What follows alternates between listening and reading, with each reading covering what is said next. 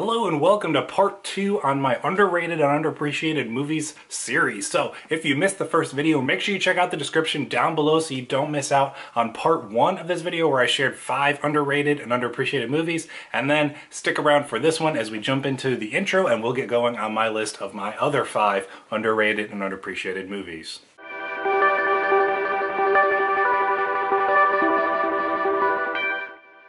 Welcome once again, my name is Austin and this channel is all about digging deeper and going further to better understand faith and film and everything that's in between. If that sounds exciting to you, make sure you click that subscribe button down below so you don't miss out on any new content. And without further ado, let's jump into my part two picks for five underrated and underappreciated movies. First, over my right shoulder, we have Live Die Repeat or Edge of Tomorrow. I mostly go with Edge of Tomorrow on this one because Live Die Repeat's whatever. The title is weird. This was a horribly marketed movie, but it is a great action movie. Emily Blunt and Tom Cruise stand very high in this movie of which performance is better. They're both great. There's tons of awesome action. I believe this is actually based on a manga that was back in maybe the 90s or something like that. But the movie itself is great. It does a really cool job with telling a sci-fi kind of end of the world time travel apocalypse movie.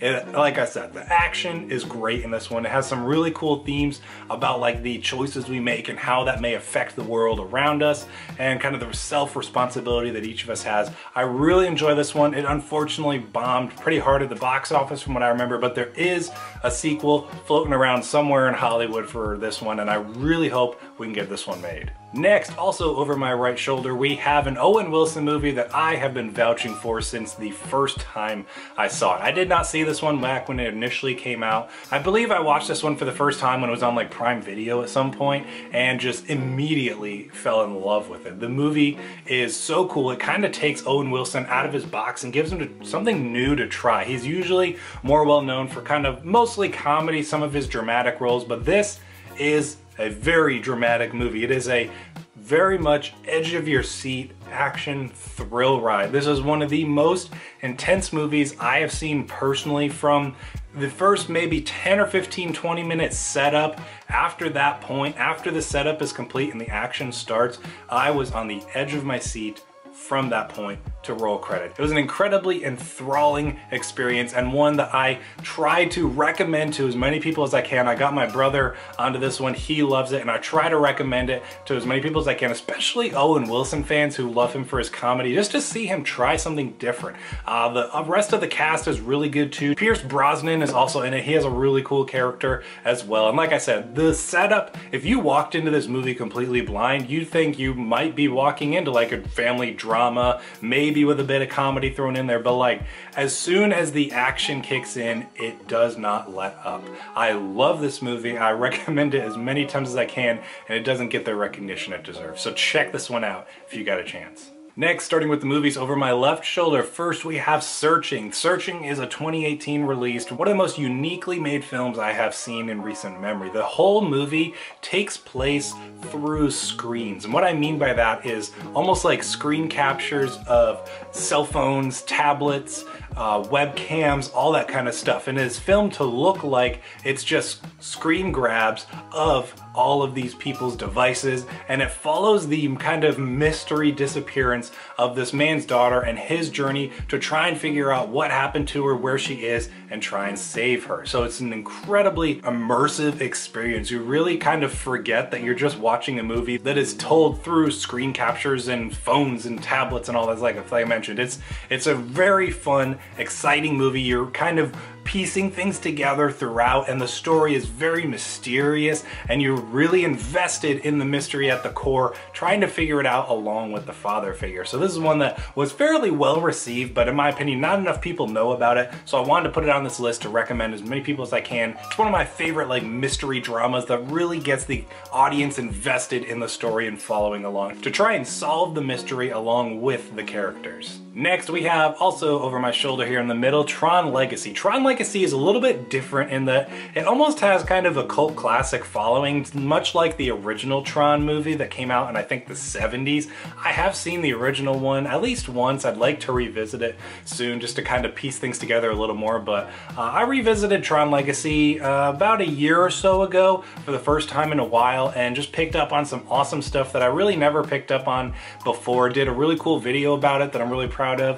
Uh, I'll link to that one somewhere either up in a card or the description down below in the video, something like that. I really like this one. I kind of feel that it's almost a parable for Christianity in some ways and it's really got some really interesting deep themes that are really fun to just kind of ponder and think about. Uh, the, obviously the special effects, the world of Tron and the grid is so cool and so immersive, something that would just be really fun to explore given the opportunity in real life. So obviously, like I said, this has a bit of a cult classic, so I'm not the first one to say, hey, check this one out. It's kind of getting a little bit of a resurgence. Every time news of a Tron 3 comes up, there's a bit of a resurgence and a love for this movie, so we definitely want to keep this one up on the trend and hope hopefully we can finally get that Tron 3. Finally, we have, this might be, let me check. I believe this came out in 28, okay, 2017. This might be one of the best movies that came out in 2017 and not that many people have seen it. It is actually a film by Taylor Sheridan, which if you're a fan of his work, you may follow along with the Yellowstone series that has Kevin Costner in it. My wife and I recently got into that for the first time and absolutely loved it, especially when I found out it was by Taylor Sheridan who did this movie. He has a really unique perspective of looking at things from a authentic and real perspective of Native Americans Americans and kind of their culture. I don't know a ton about him and his background, but he has such a good and genuine understanding of that culture, I think. And this movie really explores that well, kind of similarly to the Yellowstone series where it's very authentic and realistic feeling. It's almost like there's just straight up real stories. This is another very similar one.